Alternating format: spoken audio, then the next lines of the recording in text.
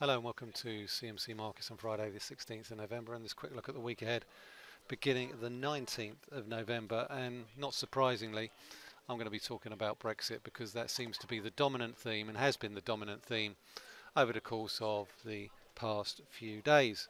Um, and I think the main focus, obviously given recent events, is likely to be on the possibility or probability of a leadership contest in the coming days.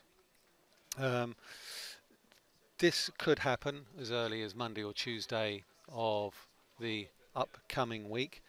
And if as seems likely, the 1922 committee get the requisite 48 votes they need to trigger a no confidence motion, um, then we could well see a leadership contest in the early part of next week. Now, getting a leadership contest is one thing. Getting a mandate to remove the Prime Minister is another. And I think that's where we need to really make the distinction. We've seen a number of resignations over the course of the past couple of days as a result of the Brexit plan put forward by Prime Minister Theresa May. And as you can see from the sterling chart, it's had a significant effect on the way the pound has traded over the past day or so. We've still, however, managed to stay within the range that we've been in for the past three months. So I think the market reaction has been somewhat temperate in the context of where we've been and where we're likely to go. There's still a big floor around about 126 and a half. There's a big uh, resistance level around about 131. And I think until such times as we break out of that particular range, I think the likelihood is we're going to see further volatility. Furthermore, the no confidence vote, just because there's a no confidence vote, does, vote rather, does not mean that we could get a new prime minister because getting 48 letters into the 1922 committee is still a fairly low bar, assuming they can get that number. To replace Prime Minister May, they would need 159 Tory MPs to vote against her. Um, to get an overall majority. And even if they were to get that, it's not immediately clear who they would replace her with. Nonetheless, even if 100 Tory MPs were to vote against her, I think it's very difficult to see how she could carry on my gut feeling is that I think getting the 48 letters is a is a big enough hurdle. She could well find that she may get less than 100 Tory MPs to vote against her, and if that's the case, she can probably stagger on.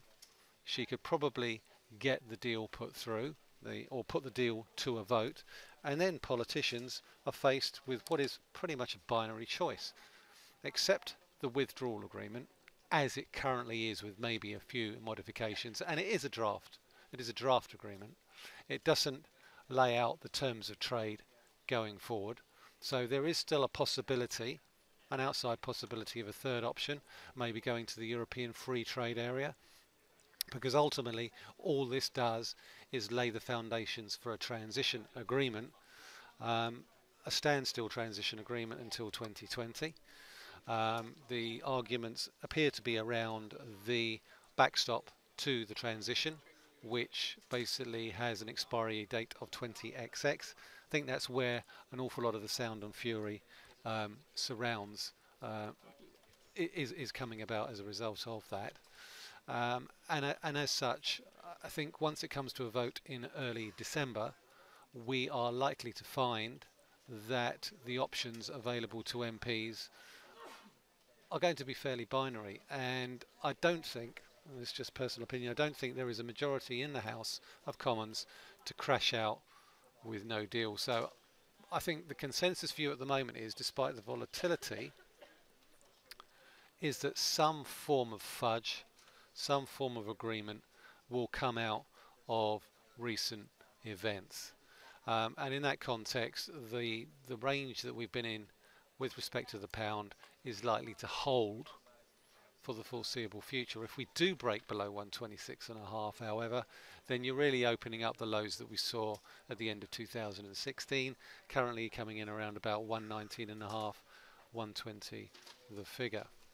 So looking ahead to the coming week, we have the prospect of a confidence vote. That may or may not happen. We may get to the 48 letter threshold but we then have to find out how many um, Conservative Party MPs are prepared to oust the Prime Minister and, in essence, put forward a candidate to replace her.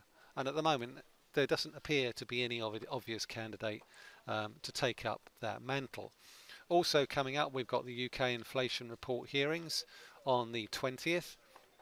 And I think Mark Carney will be appearing in front of the Treasury Select Committee and he could face a number of questions about, um, further questions about the prospects of a no deal and the effects on the UK economy and any steps the Bank of England would be take or would take to mitigate that if it were to happen.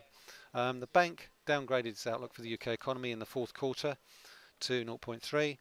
It also remained confident that the third quarter would come in at 0.6. Now, given recent events, that fourth quarter forecast may be slightly on the optimistic side.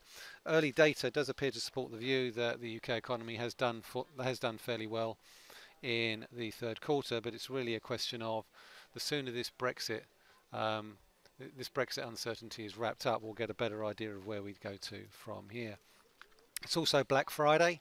Um, in the United States, it's US Thanksgiving on Thursday, so you retailers in general will be in focus this week. Um, retail sales, spending. Um, the US retail sector has been doing, or retail sales have been doing fairly well, but the retail sector itself hasn't been without its problems this year. It's replicated the problems we've seen here in the UK. Um, high street stores have struggled with growth, online shopping, shopping malls in the US have experienced similar problems with US big retail names struggling to keep up.